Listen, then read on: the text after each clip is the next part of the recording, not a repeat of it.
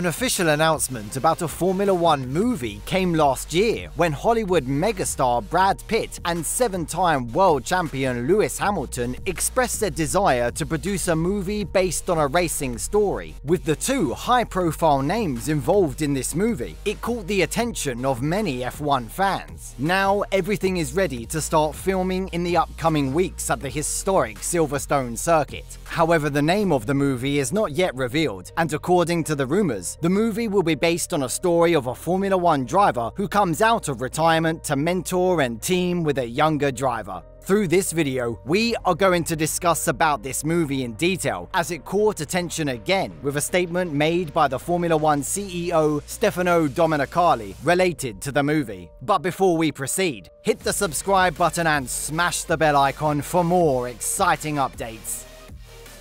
This unnamed movie is ready to be produced by Hamilton's new production company, Dawn Apollo Films, in collaboration with Apple Studio. Apple TV is already in partnership with Lewis Hamilton as it's making documentaries about the seven time world champion. Apple CEO Tim Cook appears to be interested in this F1 movie as he has met with Hamilton and Pitt during last year's US Grand Prix and also waved the checkered flag to end the race as well. Talking about his movie last October, Lewis Hamilton said, I have such high hopes for it. I know we're going to make the best racing movie that's ever existed, both visually and we're going to work on making sure we pull on the heartstrings of all those fans. This movie will be directed by Joseph Kosinski, who was behind the recent blockbuster Top Gun Maverick, which was nominated for Best Picture at the Academy Awards. Some of the technologies used in the production of Top Gun will be used in this latest F1 movie too. Jerry Bruckheimer, who was involved in the production of the Top Gun movie, as well as the Days of Thunder movie based on a NASCAR story, will continue the same role in this movie too. The script of the movie will be written by the writer Ehren Kruger, who was also behind the Top Gun movie, but he is already getting help from Pitt and Hamilton to improve the script. Pitt will play the main role of the movie, who comes out of retirement to mentor a young F1 driver. IMDb also lists Hamilton as part of the cast, but his involvement will be limited to only on track action, along with other current F1 drivers. Talking about his role as an actor in the movie, Hamilton said, I don't plan to be in it, no. It's going to take us drivers to be involved in filming the on track action, but we're not actors. We don't want this movie to be crap, which is probably why I'm not going to be part of it also, he said further. Filming is expected to carry out in the second half of the 2023 season, and the filming crew will use various locations to capture real drivers in action.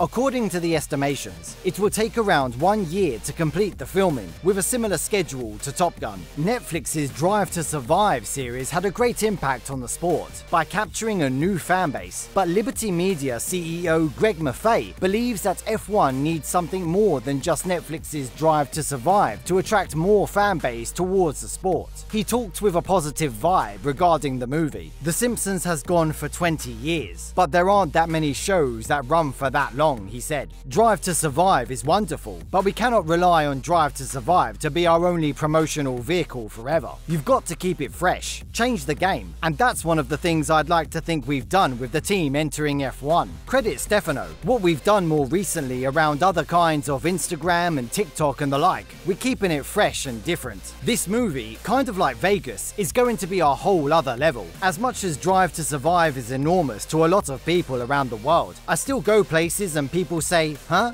Its audience is not that big. It may be big among this group, but it's not that big. A Brad Pitt movie with Lewis Hamilton consulting, and with Bruckheimer and with the director from Top Gun Maverick, we've already seen some of what they're going to do and how they're going to skin these cars. They took the technology from Top Gun, and it's going to be amazing, Greg added further. However, F1 CEO Stefano Domenicali has cautioned that F1 will have to control the production in order to prevent it from interfering with the real action on race weekends. Domenicali told a meeting of F1 investors, that's another way to show what we want to do, something different. When we started the collaboration with Netflix, the F1 community said what's going on? This is not our place to be. And now we understand the power of it. And then we added the very strong presence with social media, making ensure that all our drivers and teams are very active in promoting the sport. And that's another tool with the movie. Actually, we're going to start the shooting in Silverstone very soon, and you will see it will be the first movie when basically they will be within the racing event. It will be quite invasive in terms of production. It's something that we need to control in a way, but it will be another way of showing that F1 never stops, he added further, explaining the impact of the movie on the sport.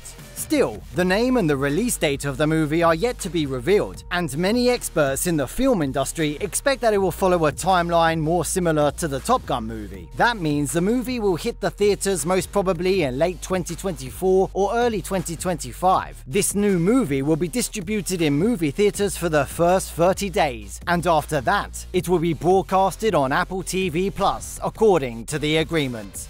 Do you have any interesting rumours to share with us? Please use the comment section below. Thank you so much for watching the video. If you enjoyed the video, subscribe to the channel to get more exciting Formula 1 news. See you in the next video guys. Goodbye.